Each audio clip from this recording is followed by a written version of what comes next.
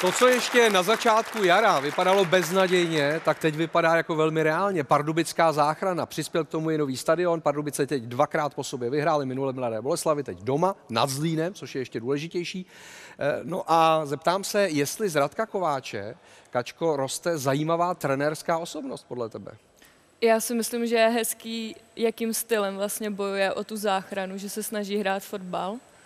A já jsem ze Zlína, takže mě tohle dost bolelo. Dívala jsem se na to a trefil to teda krásně, ten Janošek. Mm-hmm. Ale bojím se, aby si tímto Zlín jako nevykopal úplně tu poslední vlastně...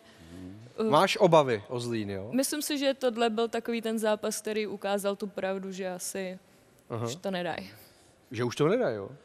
Tak ještě tam jsou namočené další týmy, včetně Teplic, mimochodem, Kamile, abys nebyl příliš na hrušce. Za, za dvě kola už budeš mluvit jinak. To je mi jasné. Teď hrajete v Jablonci, zase důležitý zápas, že jo? No, eh, ale eh, mohl dát, eh, mohli dát Pardubice hezčí premiérový gol na svém domácím stadionu? To než asi ne. Dominik Janošek? To asi nemohli, ale on hrál dobře, už proti Slávě Janošek hrál dobře. A, a minulý rozhodl v Boleslavi a dnes a tohle to je krásný gol. To je jako moc, Hra. moc hezčí gólu asi v životě nedá. A vždycky je lepší, když se ti to po- povede doma, no. Tak jako na, na, na novém stadionu je první gól, hmm. tak ho budou mít jednou na videu, tam asi ho bude moc pouštět víckrát. No. Vlasto, ty jsi fotbalový fanoušek, což si dokázal tím, že jsi viděl 68 fotbalových zápasů během ale- víkendu To, to nebylo, to bylo za, za týden. Až za týden. Ale chystáš se i na nový pardubický stadion? Láká tě to útulné nové prostředí? No jako, ať se na mě v Pardubicích nikdo neurazí, ale radši bych tam zajel na hokej teda. Radši, tak eh, Pardubice v hokeji, to je, to je suverénní. Z, zatím. Zatím. Zatím. Eh, A ty taky máš spojito se Zlínem jako Katka? Taky jsem tam bydlel 12 let, eh, ale v té době ten fotbal tam nebyl. Dokonce jsem si tam zahrál na tom stadioně několik koncertů. Na letné. No, to je letná, no. Ehm, Nikdy tam nechodilo moc lidí, párkrát jsem tam na fotbale byl, ale jako nemůžu říct, eh, že bych na to měl dobré vzpomínky. Víte co? Ale je to zábavní pořád, tak vám řeknu proč. prostě. Ano. Mě chytli policajti, já jsem nafoukal, ne, ne moc, a oni mi řekli, běžte se na chvíli projít, máte 0,6. A pak si odjeďte. Tak jsem šel na fotbal právě do Zlína. Dal jsi pivo a párek? Bože, to byl fotbal prostě. Bylo lepší odjet, jo. Já jsem skandoval, abych to vydechal co nejrychleji, abych se na to nemusel dívat až do konce. No nic, no tak chodil jsem tam na fotbal, teďka se to trošku přece jenom v té lize dobře. E, zaregistroval jsem toho vrbu, všechny ty věci, které se tam trošku zlepšily. Pardubice hrajou hezčí, hezčí fotbal, nutno říct. Tak je to takový urputný, b- div- strašně silový fotbal, ty Pardubice hrajou trošku lehčí. Já jsem, vy jste tady řešili z těch tyky taka několikrát, proč ta Bohemka doma nevyhrává a tam hostovali ty Pardubice.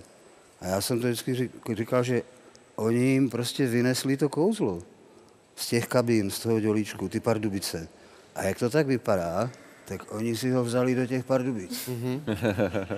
Aspoň ještě- podle těch, ne, podle, těch je. prvních, podle těch prvních výsledků. A no. ještě jestli na novém pardubickém stadionu je nějaký krp, tak je to podle mě ložený, ta záchrana. Zdeňku, když se podíváme na těch pět týmů v rozmezí čtyř bodů, Budějovice, Jablonec, Teplice, Zlín, Pardubice, tak eh, abych to nebral negativně, ale spíš pozitivně, tak z téhle té pětky, kdo se podle tebe určitě zachrání?